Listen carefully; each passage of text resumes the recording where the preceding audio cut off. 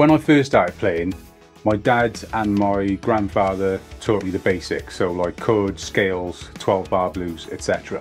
They were there whenever I got stuck, but when I wanted to learn technical styles, like when I got into Iron Maiden and then eventually Malmsteen and stuff, they couldn't help me.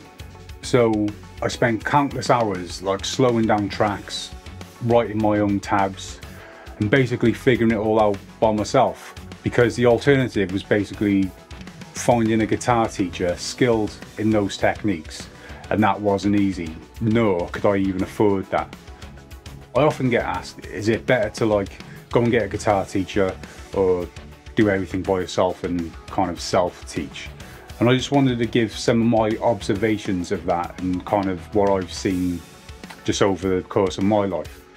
Like some of my friends had guitar teachers and seemed to progress steadily and you know consistently but over time, I noticed this limit.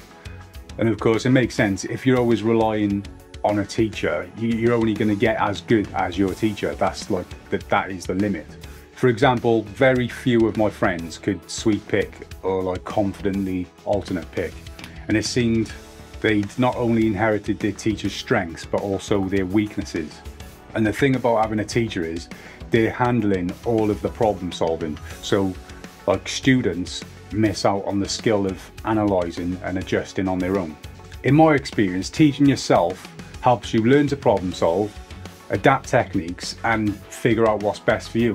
And only you knows what's best for you.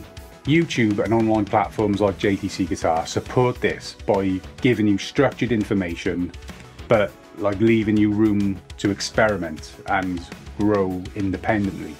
Like in my own courses, I'll not only explain multiple techniques and stuff, but individual approaches to that technique.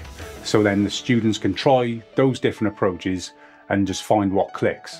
Okay, so don't get me wrong, teachers can be incredibly helpful, especially as a starting point or if you're a beginner.